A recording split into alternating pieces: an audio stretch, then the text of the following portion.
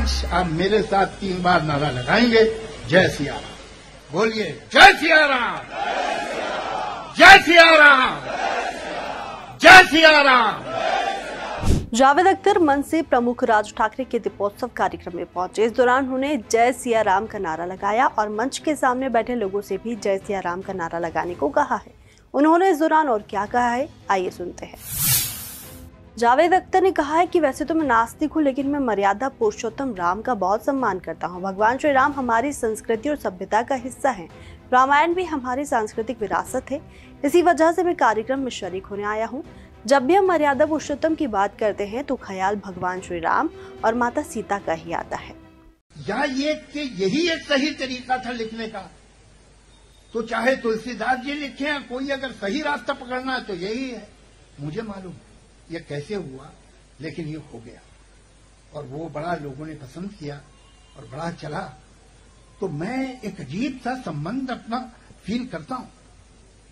ये हमारे संस्कृति में और भी डेटीज हैं, कृष्ण जी की बड़ी महिमा है। लेकिन जब हम आइडियल मर्यादा पुरुषोत्तम और आइडियल वाइफ की बात करते हैं, पत्नी की तो फिर राम और सीता ही ध्यान में एक अध्यात्म रामायण, पंद्रहवीं सदी में, समझिए, सौ सवा सौ साल पहले रामचरित मानस से लिखी गई थी। उसमें एक दृश्य है कि जहाँ सीता जी को रामचंद्र जी कहते हैं कि तुम मेरे साथ क्यों चल रही हो? कहाँ तुम जंगल में जाओगी? तुम यहाँ रो में आए? ये तो मोहब्बत की, एकता की, गिरस्त जीवन की बेहतरीन मिसाल है। जय सिया सिया और राम को अलग सिर्फ़ एक नहीं किया था। उसका नाम था रावण। और जो अलग करे वो रावण। तो आज आप मेरे साथ तीन बार नारा लगाएँगे, जय सिया राम बोलिए, जय सिया राम जय सिया राम जय सिया राम जावेद अख्तर ने कहा है कि आज के वक्त में असहिष्णुता पड़ गई है। पहले भी कुछ लोग थे जिनके अंदर सहनशीलता नहीं थी, हालाँकि हिंदू ऐसे नहीं थे। इनका दिल हमेशा से बड़ा रहा है, इसलिए उन्हें अपने अंदर से इस चीज़ को खत्म नहीं होने देना चाहिए। हिंदुओं को अपने वही पुराने मूल्यों पर चलना चाहिए। जिसमें ओम प्रकाश जी ने पूरा कृष्ण की कहानी फिल्मी गानों में सुनाई थी। आज सुना के देखो। तो कहीं सोसाइटी में कोई बुरा माने तो प्रूव करेगा मेरा पॉइंट इंटॉलरेंस बढ़ गया है। अच्छी बात नहीं। और एक खास तौर से बताऊँ, कुछ लोग होते हैं जिनमें तो हमेशा से इंटॉलरेंस था।